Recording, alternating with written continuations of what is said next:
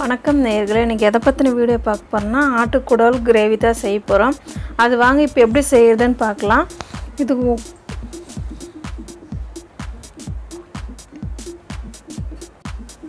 ஆட்டுக்குடல் நான் க்ளீன் பண்ணி எல்லாம் எடுத்து வச்சுருக்கேன்.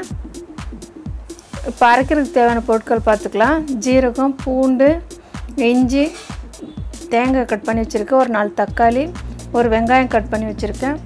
கொத்தமல்லி புதினா ஒரு மூணு பச்சை மிளகாய் எடுத்து வச்சுருக்கேன். பட்டை லவங்க ஏலக்காய் எடுத்து வச்சுருக்கேன். தாளிக்கிறதுக்கு வெங்காயம் கருவேப்பிலை எடுத்து வச்சுருக்கேன். இப்போ குக்கரில் தேவையான அளவுக்கு எண்ணெய் சேர்த்துக்கலாம்.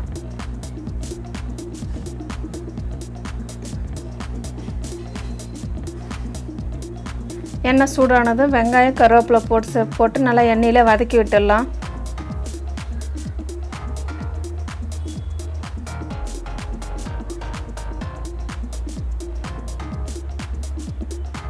நல்லா எண்ணெயிலே வதக்கியாச்சு வெங்காயம். இப்போ நம்ம குடல் க்ளீன் பண்ணி வச்சுக்கல ஆட்டு குடலை அதை இப்போ இதில் சேர்த்துக்கலாம். நல்லா போட்டு எல்லாம் கலந்து விட்டுருங்க.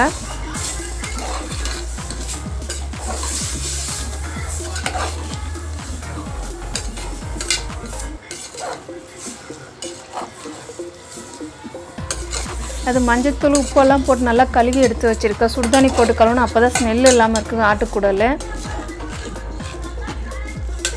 நல்லா கிளம்ப தண்ணி நல்லா அந்த குடல்லேருந்து நல்லா தண்ணி ஃபுல்லாக வந்துருச்சு பாருங்கள்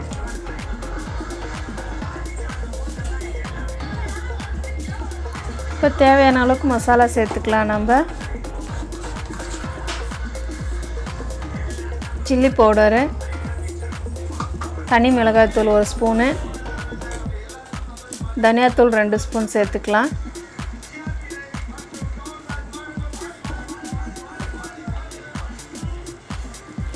ஒரு கால் டீஸ்பூன் மஞ்சள் பொடி போட்டு எல்லாத்தையும் நல்லா கலந்து விட்டுருங்க.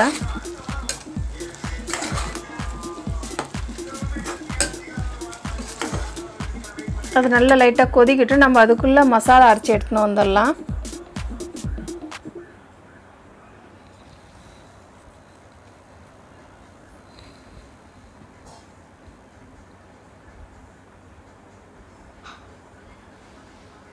அரைச்சி எடுத்து வச்சுக்கிற மசாலா இப்போ சேர்த்துக்கலாம் அதில்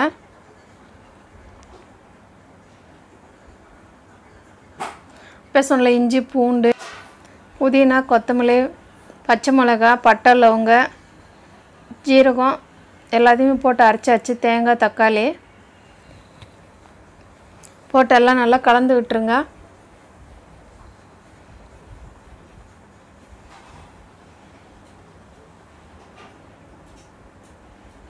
இந்த ஸ்டேஜில் உங்களுக்கு எவ்வளோ தேவையான அளவுக்கு உப்பு சேர்த்துக்குங்க.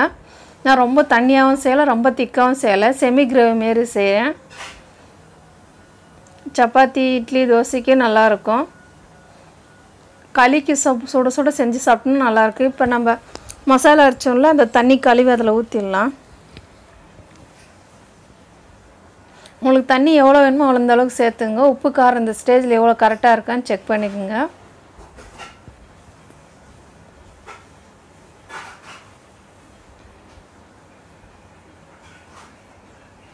லைட்டாக கொதிக்கட்டும். கொதிக்கும் போது நம்ம குக்கர் மூடி போட்டு ஒரு அஞ்சு விசில் வர மட்டும் வெயிட் பண்ணலாம்.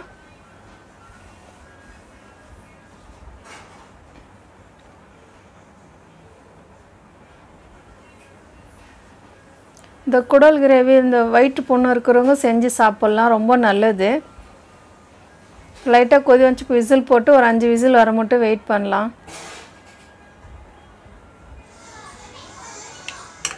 ஒரு அஞ்சு விசில் வந்துருச்சு. இப்போ ஓப்பன் பண்ணி பார்க்கலாம். ரொம்ப திக்காகவும் இல்லை. ரொம்ப தண்ணி மாரி இல்லை செமி கிரேவி மாரி இருக்குது இது இட்லி தோசை சப்பாத்திக்கு ரைஸுக்கும் நல்லாயிருக்கும் சுட சுட களி ராகி களி செஞ்சு சாப்பிட்டாலும் நல்லாயிருக்கு இந்த டே பிடிச்சிருந்தா லைக் பண்ணுங்கள் ஷேர் பண்ணுங்கள் கமெண்ட் பண்ணுங்கள் மறக்காத. சப்ஸ்கிரைப் பண்ணுங்கள் வியூவர்ஸ் லைட்டாக மேலே கொத்தமல்லி தூவி இப்போ இறக்கிடல அவ்வளோதான் தேங்க்யூ வியூவர்ஸ்